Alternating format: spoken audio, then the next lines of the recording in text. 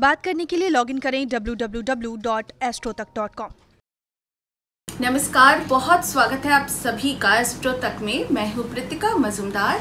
आज मैं एक ऐसे टॉपिक को लेके बात आज करने वाली हूँ, जिस बात को सुनना बहुत ज़्यादा ज़रूरी है।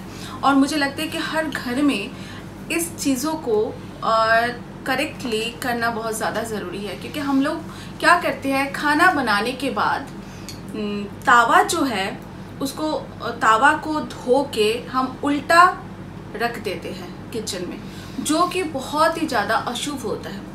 उल्टा तावा रखने की मतलब ये होता है कि इस घर में खाना नहीं बनता है या फिर नहीं बनेगा। इन, इनके घर में कोई भी माँ लक्ष्मी क्योंकि खाना जो हो, खाना बनते हैं ना, इनमें भी ये जो माँ अन्नपूर्णा की खाने हमारे एक एक अन्न में माँ अन्नपूर्णा की पास होती है।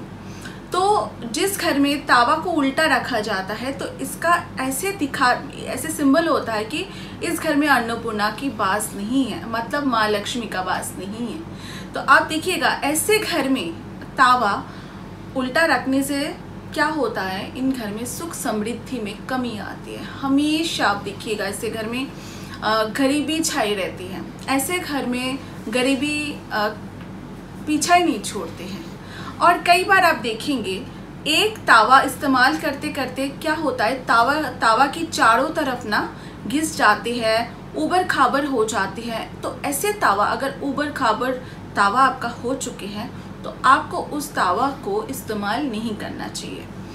आप तो ऐसे तावा क्या करेंगे? ऐसे इस तरह की अगर आपके घर में तावा है तो आप कोई भी शनिवार के दिन या फिर अमावश के दिन जिस दिन अमावश है ऐसे दिन आप कोई सुनसान जगह में इस कप, एक कपड़े के साथ कपड़े के लपेट के किसी सुनसान जगह में छोड़ आए और फिर नया उसके जगह नया एक तावा खरीद के घर लाए। ऐसे करने से आप देखिएगा आपके घर में आपकी किचन में नया ता, तावा लाने से सुख की सौभाग्य की बढ़ोतरी होती है। अब नया तावा लाने से आ, उसको उस तावा को धो के जब पहली बार आप रोटी बनाएँगे तो दूध की छिड़काव आप कर दीजिएगा तावे के ऊपर। अब देखिएगा बरकत आपके घर में से कभी नहीं जा जाएगा। और हर रोज आप जब तावा तावा जो तावा का इस्तेमाल करेंगे धुला हुआ तावा उसके ऊपर ज़रा सा दो तीन बूंद दूध डाल दीजिएगा। और उसके बाद ही उस तावे के ऊपर रोटी बनाइएगा। पहला रोटी कभी कभी भी घर के कोई मेंबर्स को नहीं देना।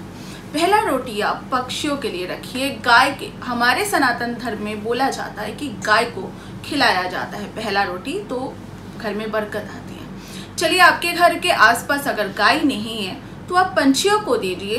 पहला रोटी आप थोड़ा आ, हटा के रखिए और घर के आसपास कौवा है, पंछी है, चिड़िया है, इन ऐसे जगह पे आप छोटे छोटे टुकड़ा करके डाल के आइए। रोज ऐसे करके देखिएगा। और जब भी तावा गरम हो, रोटी बनाने के बाद जब भी तावा गरम हो, गरम तवा कभी, गरम तावा के ऊपर पानी नहीं डालना। क्योंकि जब भी हम गर्म तावे के ऊपर पानी डालते हैं छेट से एक आवाज़ आती है। वो आवाज़ जो है ऐसे गर्म तावे के ऊपर पानी डालने से घर में क्लेश, कलह, लड़ाई, झगड़ा इस तरह की चीज़ें होती हैं। तो हमेशा इस चीज़ का ध्यान रखिएगा। तावे के ऊपर गर्म पानी नहीं रखना और जहाँ पानी है, उस जगह उस जगह पे गर्म तावा को नहीं रखना।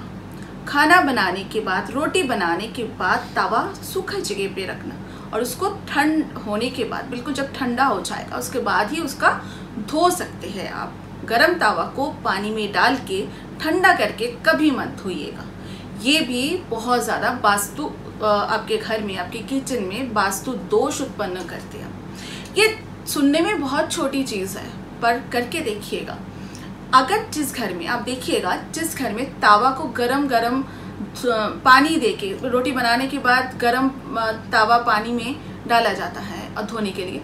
इस घर में बहुत ज़्यादा लड़ाई झगड़ा क्लेश कलह होती है। एक दूसरे के साथ, एक मेंबर के साथ, दूसरे मेंबर के घर के बनते नहीं हैं। हमेशा सुबह से रात तक किसी ना किसी बात पे लड़ाई होते रहते हैं। तो बात तो ये, हम बहुत छोटे हैं, पर पते की बात है। अगर ऐसे बातों को हमारे पूर्वजों की कहा, अगर हम मान के चले ऐसे बातों को मान के चले तो बहुत ही ज़्यादा सुख समृद्धि तो आएगा ही आएगा। इसके अलावा भी आपके घर में शांति रहेगा, सौभाग्य रहेगा, आपके घर में अन्नपूर्णा की बास रहेगा। अभी के लिए मैं चलती हूँ, फिर आप लोगों के सामने कुछ और टॉपिक लेके मैं बात करूँगी। जब तक मुझे इजाज़त दीजिए सब्सक्राइब कीजिए अष्टो तक चैनल को शेयर कीजिएगा, तक ऐप को डाउनलोड ज़रूर कीजिएगा। नमस्कार।